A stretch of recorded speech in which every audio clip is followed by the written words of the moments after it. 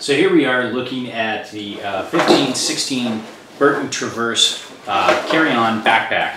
And I'm just a sucker for these kind of backpacks because, um, you know, it just allows me to carry my regular day clothes um, in this pack and whatever else I need.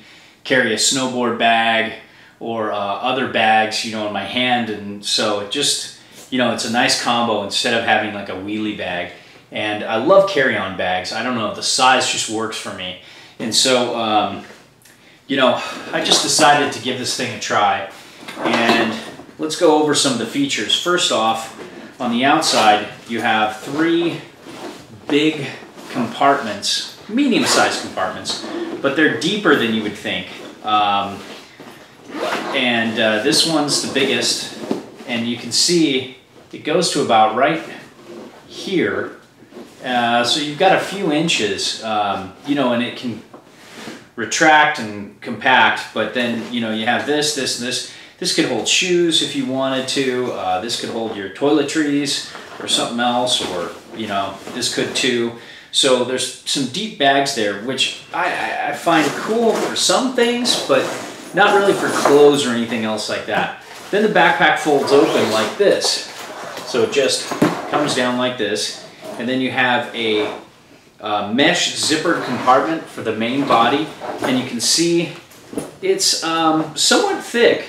So you can actually put a decent amount of clothing in here. Um, I found that uh, it works pretty well. I don't haven't really found something for this mesh, maybe for toiletries or something like that, but I'm usually laying out, you know, like socks, underwear, uh, shirts, and then pants and putting it all right there and then, you know, zipping it up. And then on this side, you have a big long bag here, um, you know, inside. So there are just lots of little compartments. And um, I put shoes in here and then, um, you know, another thing maybe for toiletries or something else. And so um, you really don't have much on this side except for little things like, you know, um, you could put socks or um, shoes or something in there, but it just, it doesn't really pack up. Like if you have a lot of shirts and a lot of pants, underwear and socks, um, underwear and socks go in there, but it just doesn't, you just don't have this, um, you know, it just feels like it packs smaller than its size. And I'll show you what I'm comparing it to. This is probably one of my favorite. This is the Dakine in-flight bag. And um, as you can see, there's two really large compartments that are just nice and square that allow you to put a ton of stuff on one side and a ton of stuff on the other. And then there's, you know, um, only uh, just a few small compartments on the front that I just use for, you know, like cell phone charger stuff, you know, um, like a little uh, thing I stick in there that holds a bunch of computer stuff. And then, you know, you have the laptop compartment there. So I find this a much better bag for like volume packing, especially with a lot of clothing. But um, I really like this Burton Traverse uh, for uh, smaller trips, you know, a little overnighter, little two-day trips or three-day trips.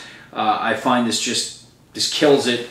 Love the water and coffee holder, for me at least, on the sides. Also, um, you know, there's a pretty nice laptop compartment. You just slide it in there and, um, you know, it's, it's very low profile. You've got a nice, you know, padded back so it's easy for uh, long travel.